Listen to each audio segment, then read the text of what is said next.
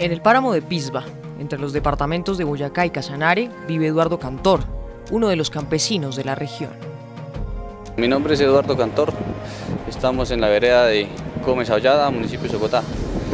Nosotros nos dedicamos como campesinos a la labor de agricultura, la ganadería y pues hemos tenido lo de acá lo de las minas, minería pequeñas, minería tradicional.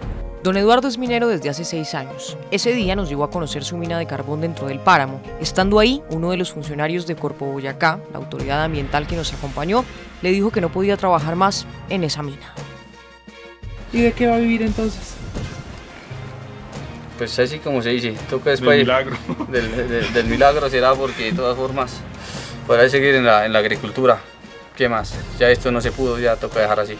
Don Eduardo sigue esperando un milagro o simplemente una respuesta del gobierno. O trabaja en la mina o cuida el par. Ese es Don Eduardo, el mismo que cuenta la historia de 6.403 familias en el páramo de Pisba, familias que viven de las minas, familias que siguen sin respuestas.